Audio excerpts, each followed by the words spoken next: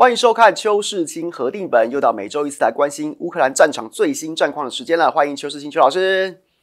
但是在今天我们把镜头转向乌克兰战场最新战况之前呢，老师这个要特别跟大家分享一下，就是今天发生的一个重大的国际新闻，就是这个伊朗总统以及一些内阁成员搭乘的直升机传出失事啊。那我们在开始录影之前传出应该是无人生还啊，那当然是一个重大的这个震惊的惨剧。那老师怎么看？嗯，这起事这起事件。会发生，之所以发生这个事件，最主要是因为伊朗跟亚塞拜然的边界有一个新的水水坝落成，然后就是双方一起约，就是到那边去看，因为那边本来就比较偏远，那就是接近山区，所以莱西他是搭莱西，他们一行就是总统机队是三架直升机，嗯，那就是莱西总统跟呃他的随行的还有。内政诶，内政部长还是能源部长坐同一架飞机，那其他还有几位部长是搭另外两架飞机。那这这个意外发生的时候，大概是去呃是呃昨天晚上大概十点多，我们就接到这个讯息，然后就开始不断的就是一直追追追，我们大概追到大概呃凌晨呃今天的凌晨两点钟，那。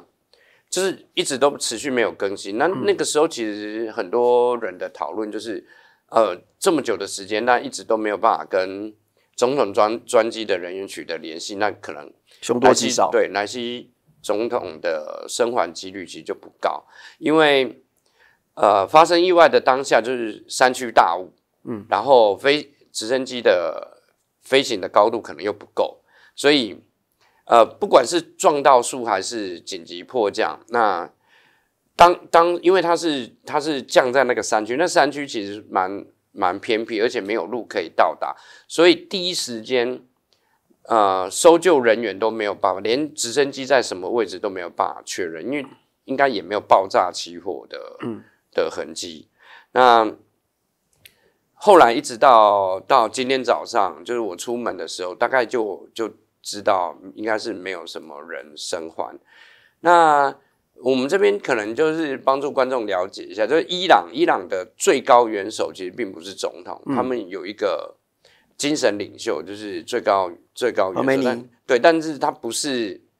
不是用选举的，他们是一代类似像一代传一代这样子。那莱西莱西算是在伊朗政坛里面比较偏温和派。我们知道伊朗政坛里面其实。还是有主要的两股呃三股势力，一股是比较亲西方的，就是类似像伊朗的反对党这样，嗯，那另外一股势力就是呃温和派跟跟激进的，就是什叶派激进的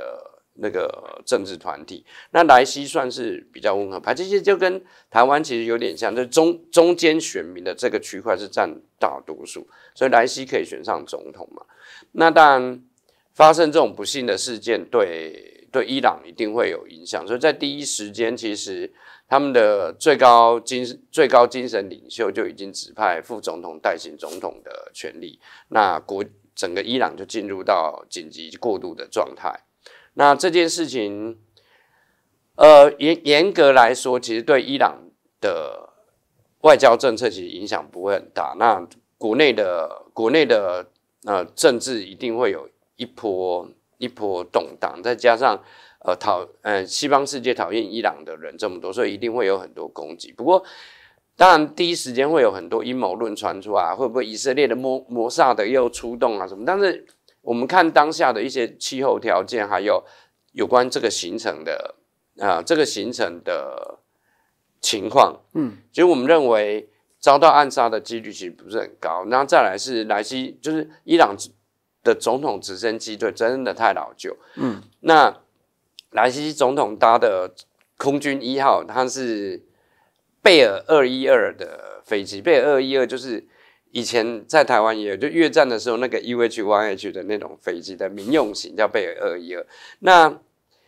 这个莱西搭搭乘的这架这架直升机已经有四十年的机龄，四十年，四十年，对，这因为。第一个，它是比较老旧的飞机，再就是因为通常直升机因为载重的关系，所以通常都不会有比较好的呃态势感知的嗯电子仪器，所以一遇到比较恶劣的天候，或者是遇到比较比较呃容易发生问题的情况的时候，直升机的耐受程度跟一般固定翼的飞机还是有很大的差别。那最近这几年，其实陆我们周边，包含我们自己，陆陆续续发生了很多跟直升机有关的事。比如去年日本自卫队的高级高级长官，也就是连连黑鹰这种重，诶，应该是目前比较先进的军用的直升机一样，很容易就失事。那再再加上我们自己发生那个参谋总统沈玉明先，嗯，沈玉明将军，嗯，也是搭乘直。搭乘直升机出事，所以直升机它天生对抗恶劣的天气就就能力比较不足。那莱西他从亚塞拜然边界回来的时候，天气起飞的时候天气是好的，但一进入山区，你突然就遇到那个起大雾，然后视线很不好的情况，飞机就完全靠飞行员的技术。如果飞行员操作有什么问题的话，就很容易出事，因为呃。直升机的飞行高度本来就比较低，它比较不容易脱离，而且在高海拔的地方，直升机也比较容易动力不足。那综合这些呃条件，我们的研判就是基本上跟以色列暗杀的几率相关联性应该是比较低的。嗯，OK，好，来吧，回到乌克兰战场，这个老师早先跟我们讲的三个北方战线的想象，有有更进一步的。对有更进一步的，目前我们大概可以确定是二啦，因为普丁总统在在那个哈尔科夫回答问题的时候，他有明确的讲，就是呃，俄罗斯目目前目前目前没有在对，目前没有进攻哈尔科夫的打算，所以我们一二三，我们大概就可以确定是二或者是三，嗯，就是我们还不能排除三，但是一的情况是比较没有。那。俄罗斯如果想要完成二这个目目标的话，那就必须要在哈尔科夫的周边的战术移动，因为我们已经很明确知道这个目目的并不是要发动一场很大的会战，那就是看他在呃建立缓冲区这个过过程里面采取的战术思维是不是能够帮助呃俄罗斯总统达成他想要的目的。所以我们看下一章。那这个是目前最新的进展。我们知道，俄罗斯在俄罗斯主要第一顺位的目标应该是沃尔岑斯克。嗯，对。所以目前俄军已经跨过沃尔岑斯克。沃尔岑斯克这个城市，就就乌克兰那个地方的城市很喜欢沿着河盖，所以这个城市又被一条河，它都有东岸、西岸，就对，对又没有它分成北岸、北岸、南岸、北岸跟南岸。那目前北岸。只剩下靠近河河岸的部分，还有少数乌军在坚持。那其他的北岸的地区，基基本上俄军就控制。那这一条河叫沃恰河。那昨天昨天晚上的消息是，俄军已经渡过沃尔恰河。因为对乌军来说，它最好的解决方案就是就是沿着沃沃尔恰河的南岸。进行防守嘛？那看起来很明显的，他们这个阶段想要沿沃尔恰河防御的这个企图也没有达成。为什么？因为俄军从旁边，从那个河湾的地方那边还有一座桥，那就从桥那边渡过来。所以目前俄军已经进入到河的南岸。嗯，所以如果俄军在沃呃沃尔岑斯克的，就是沃尔恰河南岸站稳脚步的。的话，那沃尔岑斯克掉就是时间的问题。但为了给沃尔岑斯克，因为乌军的增援其实已经来了，就至少二十个营的兵力都聚集在哈尔科夫的这一线嘛。那进入到沃尔岑斯克的部队其实并不多。沃尔岑斯克主要还是由呃自由俄罗斯军团，还有一些呃当哈尔科夫当地的。呃，国土防卫旅还留在沃尔岑斯克里面，那为什么没有办法在沃尔岑斯克那这边集中乌军的增援，嗯，来抵抗？因为因为奇比涅跟斯塔里亚里奇亚这两个村子掉了，嗯，因为看起来俄军的的企图就很明显嘛。沃尔岑斯克它对外的交通线其实并不多，嗯，所以俄军只要从斯塔里奇亚这边横过来切断这一条线。那从奇比涅这边往南威胁这条这条补给，如果陈斯克进去多少物就就就被包陷在里面，对，他会被陷在里面。那可能是有担心这一点，所以其实并后面的增援并没有往沃尔陈斯克进去，而是在相对比较南边这一线布防。因为可能也是担心俄军在这一线有突破，为什么？因为当沃尔陈斯克掉了以后，其实真正影响的倒不是哈尔科夫这一线，它它会影响南面库皮扬斯克那一线乌军的情况，那问题就很大。所以其实我们可以看得很清楚，就是针对沃尔岑斯克这边，希尔斯基增援来的位置摆的都是摆在这一线，就是在防止。俄军在突破以后，继续往东边走，东南边走。那库皮扬斯克那那边一大堆的乌军，那问题就会真的很大。所以目前可以看得出来，在乌尔城斯克这个方向，乌军防御的主要的位置大概都是在这一线，就是怕俄军拿到乌尔城斯克以后，沿着这条线继续往南走，嗯，那就会对库皮扬斯克，那就会是就会是。就会是第三条路线。对对对对，他很怕他走第三条路，那问题就很大。所以我们可以看，其实乌军谢斯基他也是会用兵的人，所以针对沃城斯克的沃城斯克在这边嘛，针对这个位置，其实他们主要防御是防御在这边。因为既然普丁公布谜底了，他的不会兵力对哈尔科夫，对他兵力在投入哈尔科夫的必要性必要性就比较低。OK，那再来就是。其实哈尔科夫是一个很难守的城市，那你你就算是投入很多很多的兵力在哈尔科夫这边，但是只要俄只要俄军控制了利普奇，那俄军控制利普奇的前提是是这两个高地至少控制一个。我们我们现在已经看到俄军已经沿着这片高地直接打过来，所以如果俄俄军拿下利普奇，那就是在哈尔科夫北面的。那个大门的两个门神就是这两个高地，那如果全部被俄军掌握的话，那哈尔科夫俄军就根本不用打，因为因为他这这两个高地就可以俯瞰哈尔科夫，哈尔科夫全市都会在俄罗俄罗斯武装部队的火力攻击范围之内。那我们目前还没有发生，那我我们可以预计未来一一个礼拜到两个礼拜，俄军主要的目标。不不会直接是利普奇，而是利普奇东面的这个高地，这个高地非常重要。那因为我们原本的地图比较不容易看到高地的位置，所以我们套我们叠了一个呃那个三 D 的地形图，所以比较方便大家可以知道利普奇这边位置。它就是在一个谷地里面，但是它被其实它被三个高地夹住，那一个高地俄军已经控制了嘛？那接下来就是东面的这个高地，当。东面的高地也控制了，利普奇就一定会。如果如果普丁说的没错，就是现在没有进攻哈尔科夫的打算，那大概这个战线就会停在对，就会停在我们我们预计的就会停在这个高地的这个点。为什么？因为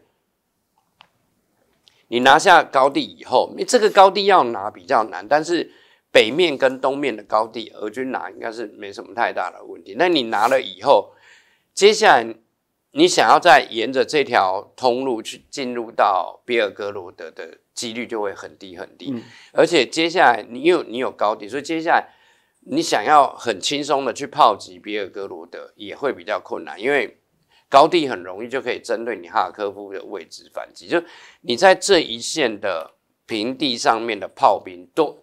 乌乌克兰的炮兵，就你打得到比尔格罗德范围里面的。炮兵部署的位置都在高地的观察范围之内，所以炮兵进到这边，那就是直接就送头。所以我们预计啊，就是这一线推应该会推到这个高地的位置。OK，那接下来就是看沃尔城市。为什么？因为就战略的意义来说，沃尔城市克才是俄军主要的。你拿了二沃尔城市克，你才有办法说你建立了一个缓冲区。因为沃尔城市克离边境太近了。嗯，以前自由俄罗斯军团。他们就沿着这个路开车，就直接就进去了。那当你拿下沃尔城市克以后，北面这边加上利普吉这边的高地，那乌乌军想要再从北面进入到比尔格罗德的难度就变得很高很高。OK，好，那查苏夫亚这边又有动态了吗？对，这个我们地图还来不及更新，但是今天早上出门之前最新的动态就是九十八空降师已经打进去这个围区了，所以其实。接下来几天应该就是查苏夫亚这个人工运河以东的关键的时刻。为什么？因为我们目前知道第一排这整个第一排的位置已经被伞兵控制，然后这边的高楼区这个这个方块，这个方块已经俄罗斯控制了，所以剩下来的，因为你拿到高楼区以后，接下来剩下来位置乌军就得要退。那乌军只要一退，那运河以东的位置搭配这边的这边的森林地，那可能剩下来的就只剩下这个卡列琳娜的这个村子。那卡列琳娜这个村子现在呃，现在两百两百旅也在打这个村子，所以整个运河以东的整个人工运河以东的的。区域大概都俄罗斯会控制下来，那这个大概就是这一两个礼拜会发生的事情，我们可以预测。那所以，我我比较好奇是，老师你你下面这个登山队已经划到这个隘口了，对，所以是他已经封锁这个隘口了，对他已经堵住了，所以接下来就是因为他堵住了，所以接下来这边才会掉。那伞兵它是分两路啊，就东面一路，南面一路，然后就是一样，它就是一个前行的战术，所以。目前就看这个围区整个控制下，因为这已经打两天了，今天是第二天，那就看俄军在这边能不能站稳脚步。如果能够站稳脚步的话，乌乌军乌军就只能退回人工运河的西面了。那退回人工运河的西面，就等于整个阿特木的整个阿特木战役之后延续的攻势，大概就就会停在这边。因为我不认为目前。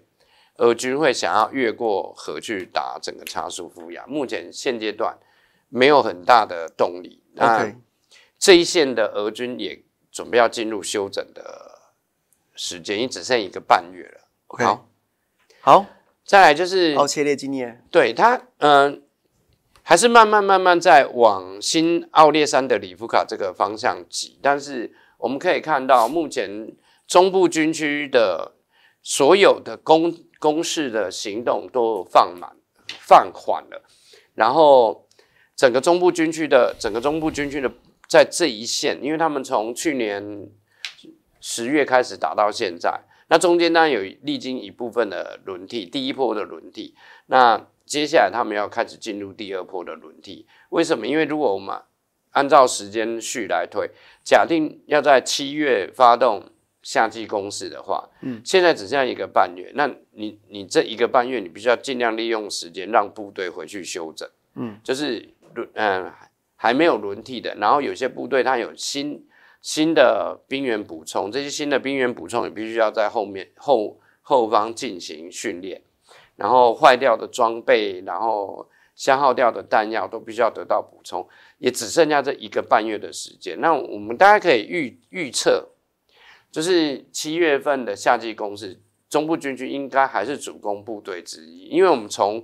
他这两个礼拜开始轮替部队的强度跟数量，就是他他也是很急，因为剩下的时间也不是很多，所以他从前线也是大量的部队在往后轮替替换。那现在就是双方嘛，希尔斯基的乌克兰那那一方也开始在做轮替，像二十八旅就已经调到赫尔松，其实慢慢慢慢。乌克兰的部队也开始在集结。那如果我们是考量到夏季攻势的话，我们就会发现，其实俄罗斯他们挑这个时间点去打哈尔科夫是一个非常非常聪明的决定。为什么？因为你打哈尔科夫就是攻其所必救。嗯，那乌克兰你你不能不守。嗯，哈尔科夫，当你在重心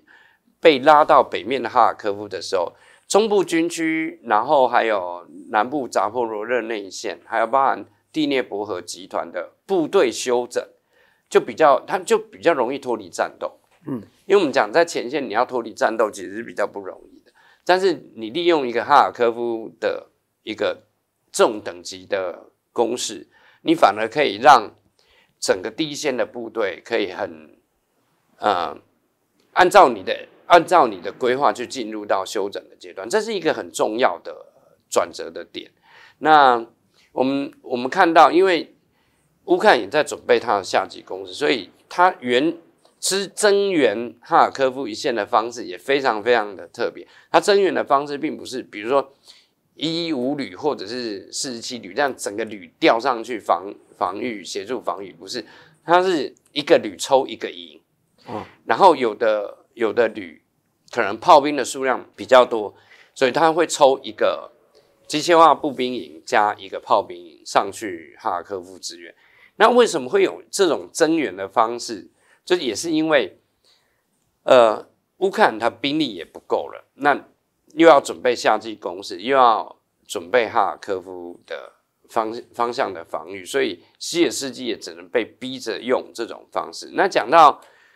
俄罗斯的轮替跟乌克兰的兵力补充，我们知道这这个礼拜开始，就五月二十号，哎，今今天，嗯，五月二十号，乌克兰新的动员命令就生效了，所以从五月二十号开始，乌克兰的征全就是。乌西的全部的征兵办公室都要出动，因为他们必须要在一个月之内补充将近十五万的兵员，就是要到街上到处抓。所以昨天，昨天乌克兰的社群媒体就有很多人互相在提醒说，接下一个礼拜就不要出门，男性不要出门，因为你会在各个各个地方重要的，因为搭公车会有人上来检查，然后你就会被拖走。然后你到工厂去上班，就你要上班才有薪水嘛。你到工厂去上班，那征兵办公室会到工厂去抓人。然后，呃，蒂涅波罗彼得罗夫斯克的州州的州长都出来抱怨，他说他们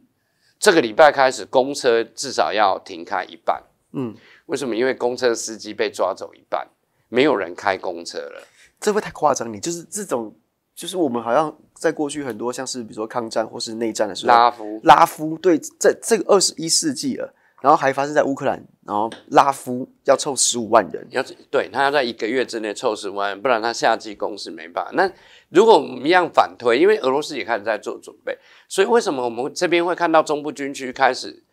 开始攻势会放缓？因为他必须要至少三分之二的兵力都要拉到后方去休整。那因为你部部队必须要经过休整以后，才有办法恢复战力嘛。那乌克兰比较麻烦，乌克兰因为他现在前线的兵力本来就不够，所以他要补充前线的兵员，他必须要动员。那你我们算一下，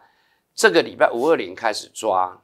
让你抓到六月，嗯，那凑满了十五万，那这十五万人要训练，嗯，然后要。嗯，要编配到部队里面去，那要去适应部队的生活。那一个半月要怎么形成战斗力？我我是很怀疑呢。也许乌克兰人天生可能基因比较强大，他们对熟悉战斗的节奏掌握的程度比较高，但我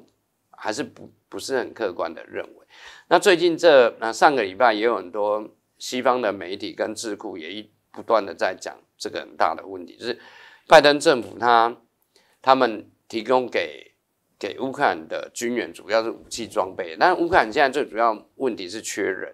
所以这个就接下来我们就可以看到一些在欧洲外交外呃外交上面的一些角力，比如说乌克兰已经要求好几个国家要把他他在国家在这些国家避难的难民符合征兵条件的要送回来，嗯，那当然很多很多欧洲的国家不愿意照办。但是听说波兰已经同意了，所以，呃，前一段时间在波兰的，就是一些逃到波兰的乌克兰人，其实，在波兰也制造了很多的骚动，因为他们不想要回，不想要回乌克兰。那但是你要你乌克兰，你也没办法阻止这些这些外逃的乌克兰人不回来，所以他们就用了很多很奇怪的招式，比如说不跟不跟你换护照。因为你我们知道，现在在一些欧洲国家，乌乌乌克兰的难民他们是会提供工作的，但是他们的条件是你必须要有合法证件。什么叫合法证件？就是你的护照有效，你所有护照都有效性嘛。那你只要呃乌克兰的外交部不不帮你更换护照，你护照就失效。护照护照失效，虽然说在很多欧洲的国家，他不会把你遣返回去，但这意味着你没办法领，没办法工作，你没办法领。就是他们有一些补针对乌克兰的难民的一些补助，就每个月会给一定的金额。再是你也没办法工作，那就会造成这些人很大的问题。那当然，就乌克兰政府，因为他现在急需兵员，他监狱的犯人都要都要出来当兵，所以这个情况大概也也是为了，因为夏季攻势展开在即，但现在武器装备应该问题不大，但是人力是一个乌克兰现在面对的问题。OK，好，再来内塔洛沃，对，这是我们一直关注了很久，就是这个三角洲的地区，因为什么？因为整个阿夫迪夫卡的攻势在南部，最后的剩下最后的一小小区块就是这个三角洲。那内塔洛沃，俄罗斯已经控制了百分之九十以上，剩下来的就是最西边的这一点点。那因为内塔洛沃被控制了，所以一下子从俄军的控制区一下从这边就跨到这边来，所以这个三这个三角洲目前呢，就是当然很多西方的西方的一些军事军事观察家，他们讲说，这个三角洲就是为了俄罗斯预留的火力杀上去，只要俄军胆敢进来，乌军的炮兵就可以从这两面直接夹击这边。嗯，但看得起来，俄军并没有要进去啊。俄军它可以从北面推，可以从南面推啊。嗯，对，所以呃，我我们在我们在观察这个区域的话，就是剩下这个三角洲的区域，应该呃，俄乌军还能够控制的时间也不多了。那整个从阿夫迪夫卡的崩溃之后，我们可以看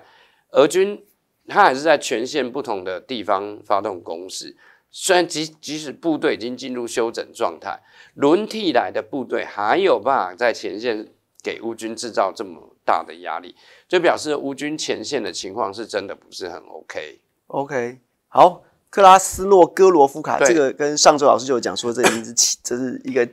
穿插，对，穿插成功的穿插，就导致目前克拉斯诺戈罗夫卡的防御大概已经在倒数计时中，因为。为你能够依赖的，你能够依赖的补给，就是跟跟人员轮替的路线，现在就只剩下这一条而已。那这一北面的这边，俄罗斯已经控制了嘛？再就是东面已经推到克拉斯诺戈罗夫卡最东的边界，也就是乌军剩下来就是低地，因为这边比较高嘛，这边是低河，就是这个池塘边的低地，你只剩下低地这这边的一些别墅区，那。其实这这边的房子都不多，大概集中的位置只剩下这个，所以克拉斯诺戈洛夫卡的乌军的防御也大概快要无效化了。就接下来剩下的时间也是在一个礼拜到两个礼拜左右，克拉斯诺戈洛夫卡就会掉，这是我们预期。那克拉斯诺戈洛夫卡掉，对顿涅茨克来说，就是就是顿涅茨克人民的一个重大的成功，因为。从阿夫迪夫卡、克拉斯诺格罗夫卡到马林卡，就是沿着过去二零二零一四年以后，俄乌乌军在北约的帮助底下，针对顿涅茨克的封锁的三个要塞的城镇，就就全部都没有了。那对乌军来说，当然是很不好的消息。为什么？因为过了这三个要塞城市之之后，西面，嗯。就是广大的平原，那乌军也没有建立足够的防御阵地，所以夏季攻势就如果顺利在克这一两个礼拜克拉斯诺格罗夫卡俄军控制下来的话，那夏季攻势俄军可以有的选项就会非常非常的多。OK，好，那这个是他最近 最近很多朋友在讨论这个，就是讲说去年的这个这个春季大反攻，然后呢就是。从原本说要直接突破打到这个打到黑海边，对，然后结果后来这个目标 不断的下修，去看不断的下修，最后就聚焦在拉伯蒂诺。结果现在在这个二零二四年五月，在大家没有特别注意的情况之下，不但吐回来了，而且还倒吐了。对，就是如果我们说去年的呃呃乌克兰花了这么大的代价，然后最最主要的战果大概就是拉伯蒂诺。嗯，那我们可以看，我们我们有把旧的旧的记录调出啊，在二零二三年九月的时候，就是棕色的这条线，就双方的接触线的位置是在这边。那那个时候，其实苏洛维金苏洛维金防线其实就在这这条棕色的线的前面一点点。嗯，那嗯，乌乌克兰非常辛苦，就是豹二最先被击毁，就是在这边嘛。那还有挑战者哈，那挑战者坦克，那几个几个北约的九大金刚，这是九个北约训练的旅用的北约的战术，那基本上全卡在这个位置。那那个时候我们其实就已经跟大家讲说，那。嗯，乌军并没有形成一个真正突破的态势，因为它并没有办法从拉伯蒂诺的这个周边展开。最主要就是因为俄军坚守在拉伯蒂诺西面的这个高地上，把即使乌军已经进入到拉伯蒂诺，他一样没有办法向旁边展开，就表示乌军并没有突破防线，或者突破防线的纵深还不够。那当然，我们去年这样讲，就就很多。很多有意见的人给我们很多批评指教，但最后证明我们的我们的描述是真实的战争的情况。那在在大家都在关心哈尔科夫的的嗯很重要的重要重要的呃战役的时候，拉伯蒂诺就被俄军，其实这已经打了将近半年，就俄军在拿拉伯蒂诺。并不急，它是慢慢一块一块一块的吃，有时候进去了又退出来，就尽量消耗拉伯蒂诺这一线乌军的防御能力。那一直到上个礼拜，我们可以确定，就拉伯蒂诺本身已经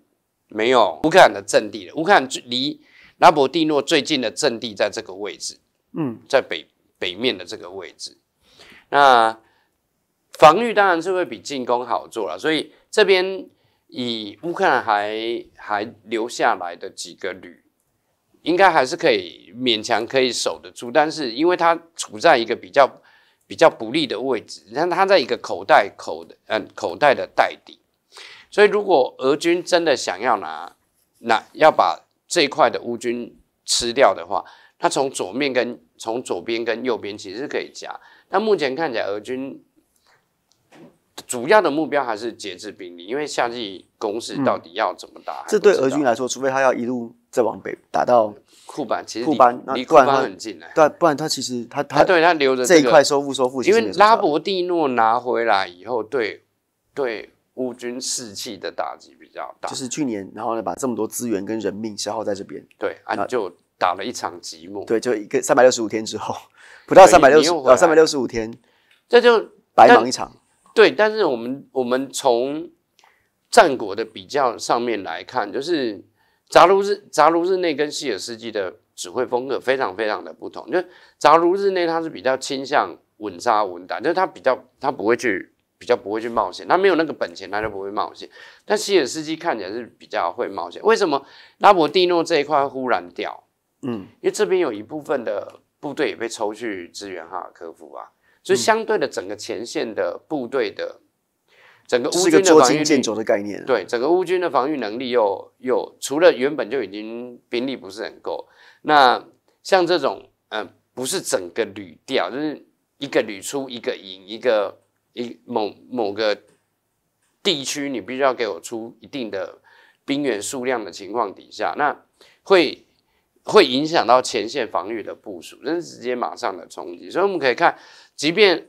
俄军的攻势其实都已经结束了，那他冬季的攻势都已经结束，但剩下来轮替的部队还是可以在前线给乌军造成很大的压力，这就表示说乌军在防御上面就比较不容易应对。这也是我们刚刚讲为什么俄军在哈尔科夫现在这个时间点在哈尔科夫发动一个这样子规模，就规模不是很大，但是打在你必救的地方的。的一个攻势会造成的影响，就尽量去消耗掉你原本可能可以轮替的节奏，或者是你现在就必须要考虑，那我为春季攻势做准备的这些部队要不要提前运用？那这些资源要不要提前动用？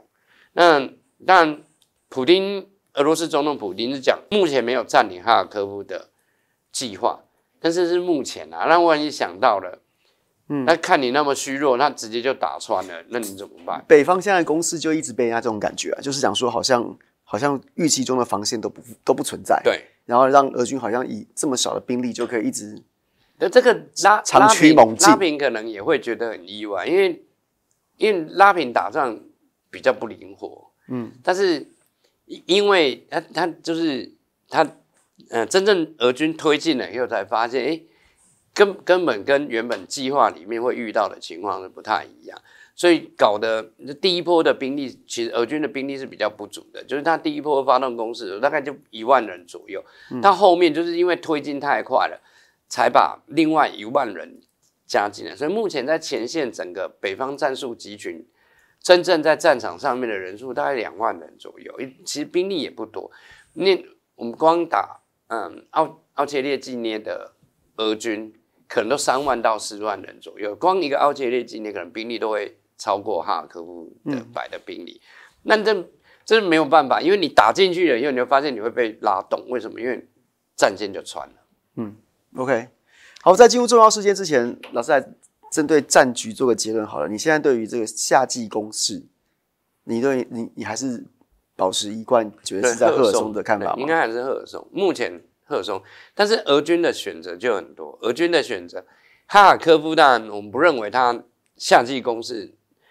呃，哈尔科夫会有很吃重的角色。我目前这样看几个几个可能发动的点，哈尔科夫应该是还排在很后面。那我们认为。比较可能的就是比较可能夏季攻是查苏夫亚跟奥切列基涅的联动，嗯，对，就是你还是认为那一块顿涅拉，对，顿涅斯克北面就是顿涅斯克北面的这一块，另外一个当然是库拉霍沃，就是胡利达尔那附近，对，为什么？因为对，因为胡利达那个那个那个也很难，如果如果是指挥官，我也很难拒绝，因为那个只要打穿了，那整个。乌军的夏乌军的夏季攻势就成泡影，所以那评估就是查苏夫亚跟查苏夫亚到奥切列纪涅的这个这个联动，那再来就是呃马林卡以南到库拉霍沃的这一块，OK，好可能的两个选择，但我们不知道俄军会不会真真的这样子做了。OK，前面讲到说北方集北方集群才两万多，两万多是作战兵力吗？还是包括后勤？没有，就作战兵力两。作战兵力两万多，然后呢就可以逛街逛进去。对，就是好像这个进展比大家想象的要快速跟重大。那结果其实在网络上已经很多新闻，包括这个我看很多乌克兰。自己的这个新闻或者西方媒体报道都说，这北方的防线照说是做了很重大的这个国防投资啊，结果好像贪污舞弊，或者说什么样的因素让这个防线看起来哩哩啦啦的。对，因为因为这个这个突破其实远超过我的预期，就我必须要说了，因为我我也不认为哈尔科夫的，就是以北方战术集群这么这么少的兵力，再加上很多都新兵。但北方战术集群其实这次打仗的很多，他并不是老兵，并不是像呃南部军区、东部军区的有很多老兵。那北方战术集群，这是很多打仗其实并不是都完全是，就是就是老兵带新兵。嗯，他们打的第一场就是，其实我们不，我们呃，我们应该正式的称呼应该是那个圣彼得圣彼得堡军区。那现在已经没有西部军区，西部军区切成莫斯科军区，莫斯莫斯科军区就是。在原本西部军区在那个克米纳那一线，现在是莫斯科军区。那这一线哈尔科夫这一线其实负责的是呃圣彼得堡军区。那原本这个新成立的军区，那这么多新新的单位呃那边进来，那指挥啊协调上面应该会比较不好嘛，对不对？所以我本来就就没有，因为我们知道他们要打，但本来没有预期会这么顺利，但。意外的顺利，甚至我们看到很多很多俄军的进攻部队，他是就就直接走进去了，走进去乌军就退了。我后来我们不断的去找原因，因为你还是必须要知道为什么突破是如何突破，那防御是如何防御。所以我们用很简单用这张无人机拍摄下来的图，就给大家看，在哈尔科夫北面，这个号称去年十一月嗯就开始构建的。乌克兰版乌克兰版的苏洛维金防线，那当然，因为我我们其实并并不会特特别去找很细的东西，就是没有发生哈尔科夫突破的时候，我们不会去特别找这个。然后。等到突破的时候，我们才发现，哎，跟很多预估不一样，然后我们就去找来印证。然后我们就从这这个影片截下来，我们大概就可以知道，这是一个很典型的哈尔科夫北面乌军的防御阵地。但我们从这个防御阵地，第一个，他站好就不及格了。嗯，这个在克里米亚以前克里米亚战争时期，如果是沙俄的将军就直接拖出去毙人，你防线搞成这个样子是根本没有。我们等一下会，他为什么会是这样子的形状啊？因为他应该是要守，这是一条马路嘛，他最主要应该是要卡住马路。嗯，那卡住马路的防御工事并不是这样子。他为什么东一段西一段的？你后方的好这个站好也没有交通好，对，然后你后方没有给装甲车预留的通道，然后这个刚好拍到这个就是乌军放弃阵地往后撤。所以我们可以知道，它是直接铺路在在平面，对它也没有地面上，对，没有它机动转移，完全没有任何的保护。那你好吧？那你最起码你因为你是道路嘛，所以你有应该要有龙牙。那你龙牙去哪里了呢？也没有。我们后来知道，龙牙都一堆一堆堆成小山啊，没有没有铺设就对了。对，他根本没铺设。然后就是就是那个。包商就直接把龙牙堆成一一堆小山，龙牙根本就没有铺，那没有铺的龙牙是没有作用。再是，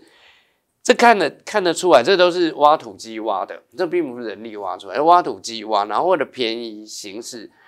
因为因为你要挖成挖成锯齿状比较辛苦嘛，所以他就直接给你直接就铲一条过来。这种防御工事，你不要说滑翔炸弹，那个滑翔炸弹一炸，这个整个阵地都没有。你就一般的炮击、破炮炮击，你都没办法阻阻挡。所以乌军会跑是，